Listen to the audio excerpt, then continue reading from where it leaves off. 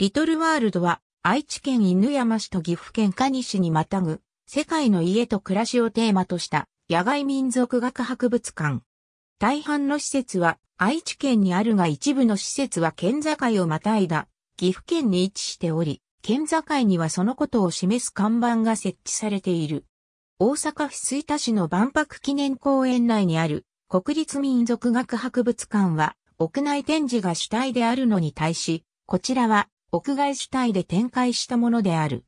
ただし、かなり大規模な屋内展示もある。リトルワールド側が発表している敷地面積は123万平方メートルで、日本のテーマパークでは第2位の敷地面積に相当する。世界中の様々な動物の肉を味わうことができる肉フェスなどのイベントを定期的に開催している。名古屋鉄道が犬山の観光開発のために出資して1983年3月18日に開園したもの。1970年に大阪で開催された日本万国博覧会は、当初世界各国民族の伝統的な建造物を集めてくるというコンセプトがあり、万博終了後にそれらを移築する受け皿として、リトルワールド構想が持ち上がった。名古屋鉄道としては、博物館、明治村と合わせた犬山の観光振興を図る考えから、この土地が用意された。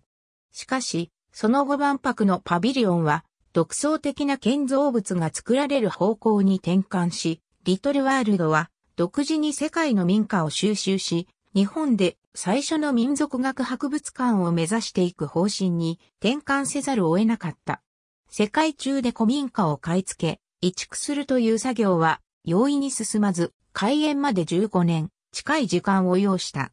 その間、大阪の万博跡地利用の政策として、国立民族学博物館が先に開館し、日本最初の民族学博物館とならなかったことから、テーマパーク色を濃くした人間博物館というコンセプトを前面に出すようになった。人間博物館というキャッチフレーズは、後に野外民族博物館と変更されている。現在23カ国33施設が現地から移設されて展示及び内部公開されており、入園すると1日で世界一周が体験できるというのが売り物となっている。一部の店舗ではマナコが使え、さらにミュースターポイントが加算される。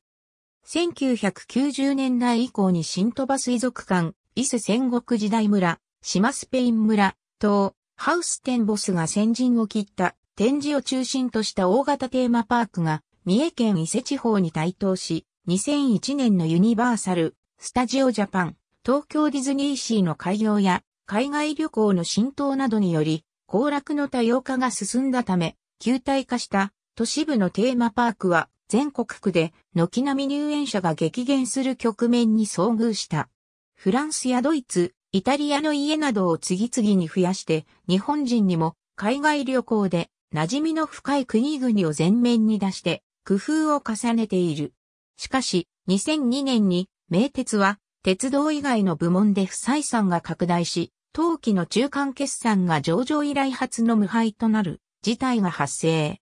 これが契機となり、翌2003年1月24日に経営合理化策を発表し、リトルワールドについては園内施設を保有していたリトルワールド会館の資産を名鉄が買い取り、同社は生産処理され、同年10月よりグループ外への売却を目標に、運営主体を新設市会社の名鉄インプレスへ、他のレジャー施設と共に委託し、内海フォレストパーク、日本ライン観光の廃業が同年中に実施された。それからわずか4日後、急遽収益の改善が見込めないとして、2005年9月の愛、地球博閉幕後をめどにリトルワールドを閉館する旨を朝日新聞がリークして報道がなされたが、愛、地球博により中京圏の人々に海外文化との触れ合いが見直されたこともあり、再び入園者が増える傾向にある。そのためこれまではサーカス等のイベントが集客対策だったのが、世界の料理や民族衣装の試着などの愛、地球博で好評だった分野にも力を入れ始めている。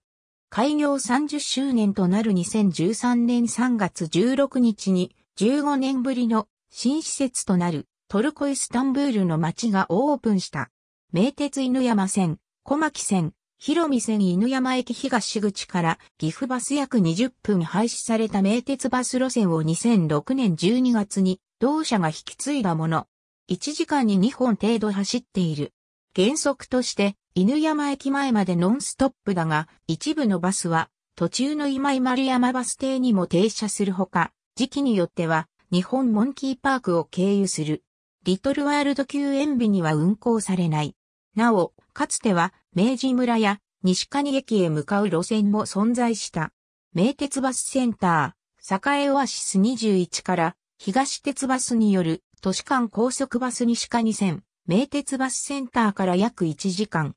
バス停、リトルワールドを降りて、すぐ成沢リトルワールド口から徒歩約15分。距離的には、名鉄広見線全寺の駅が最も近いが、徒歩でのアクセスは困難。自家用車なら、中央自動車道小牧東インターチェンジ経由終わり、パークウェイの今井インターチェンジが最も近い。または、多治見インターチェンジから国道248号線経由で約20分。ありがとうございます。